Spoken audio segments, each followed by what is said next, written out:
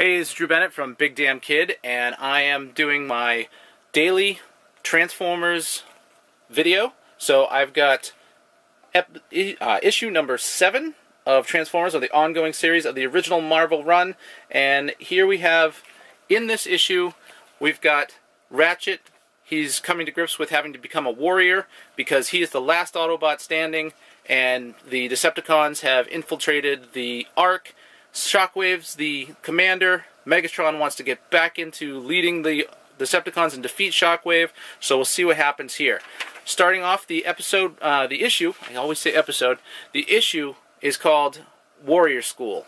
And Ratchet and Buster are you know going through the woods of Oregon here and they come across a group of students who are out having a party in the woods. Uh, they accidentally crush the the students' tent, so it kind of ruins their party. But they share some hot dogs with them, and Ratchet learns a little bit more about Earth culture. It also gives them some time to give exposition about what has come before in the issue. So Ratchet is learning what is learning what wood is because you know being from Cybertron, everything's metal, so he doesn't have any organic stuff on on Cybertron.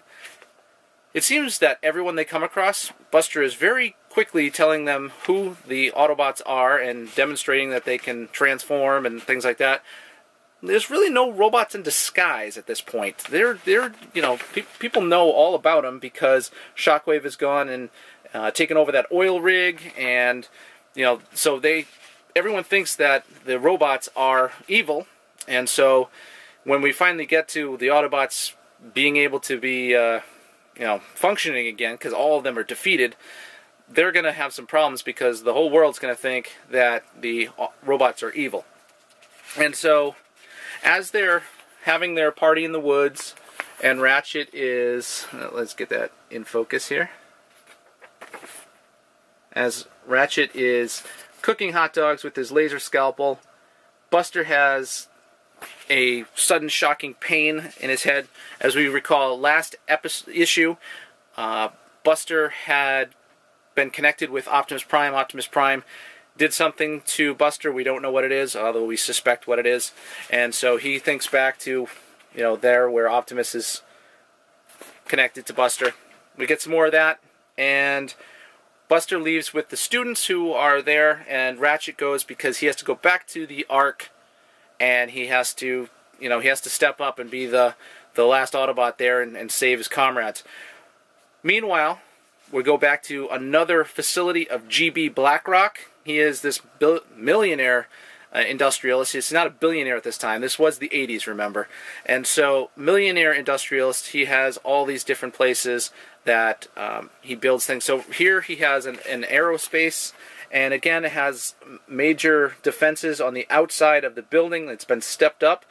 Uh, but one of the workers finds this tape deck, free tape deck. I'll take it and bring it in, bring it inside. So he takes in Soundwave, unbeknownst to him. Soundwave, as he leaves him in his locker, busts out. He and Laserbeak cause some havoc and take over this facility. So, you know, they they take everything over. The weapons do nothing to them. Meanwhile, they are, you know, breaking things down, making sure that uh, the people can't transmit outside. And with Laserbeak's laser precision, he attacks the transmission, but doesn't uh, hurt any of the humans. So so far, they haven't really um, directly hurt any of the humans.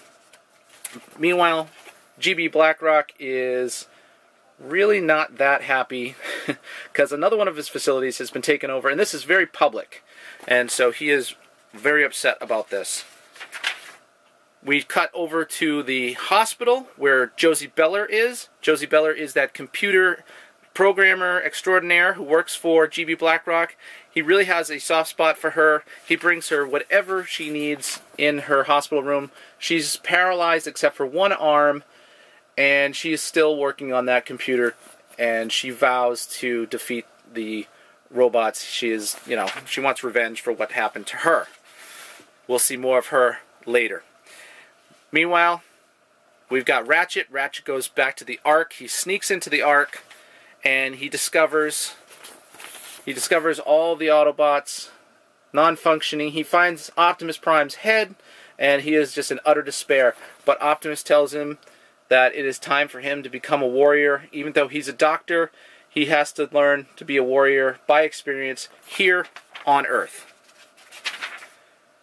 We go now over to where Buster is. Buster has returned home, and he uh, Sparkplug is still in the hospital because of his heart attack, and Buster needs to kind of take over what's happening in the in the auto shop. And he has a confrontation with his friends. He feels that they're, you know, saying that his father's not not smart. It's real easy to be a mechanic, and he just turns on them, and they leave. Once they leave, he has another episode, seizure, whatnot, and he notices that once he kind of comes out of that, things are floating around. So he's getting some sort of power here, and he doesn't quite understand. Ratchet back at the Ark. Ratchet is going through the Ark, and he is grabbed from behind by none other than Megatron. So Megatron grabs uh, Ratchet and beats him up, and he's going to kill him.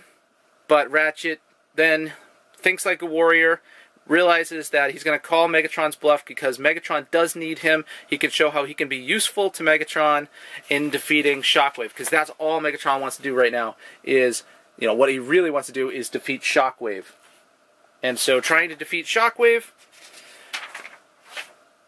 Ratchet has uh, he knows what happens there. So between Megatron and Ratchet, we do get exposition as to what happened to Shockwave uh, after the Decepticons raided the Ark in space and the Ark crash lands on Earth.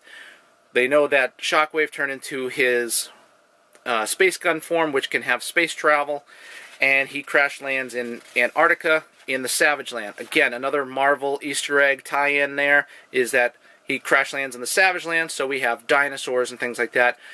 Between Ratchet and Megatron, it's actually very unclear as to who is speaking in some of these parts because, you know, Ratchet knows some information and Megatron knows some information, but they're going back and forth as to what happened to Shockwave, and also we reveal that the Dinobots had something to do with defeating Shockwave in the first place. So Ratchet makes a deal with Megatron that he will defeat Shockwave, possibly with the help of the Dinobots, because we do see in the very last panel that we are looking for the Dinobots now. So soon we're going to be seeing Grimlock, Slag, Sludge, Swoop, Snarl, all those guys are going to be coming to this to the series, and they're going to be, you know, fighting Shockwave. Well, anyway, that is issue 7. I gotta stop saying episode. Issue number 7.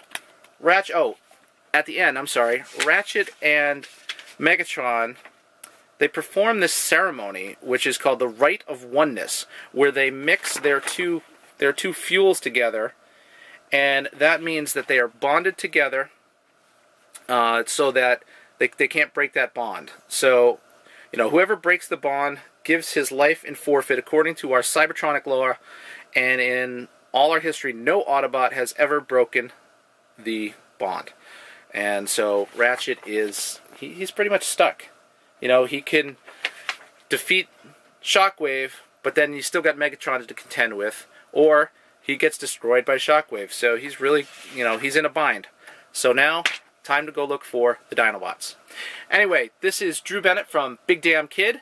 You can find me on Instagram as Big Damn Kid, on Twitter, on Facebook, and you can also find me at BigDamnKid.com, where I'm posting up some uh, blog posts about this, as well as some additional pictures and, and things that uh, that you might want to see with uh, regards to the Transformers, uh, specifically each of the individual issues.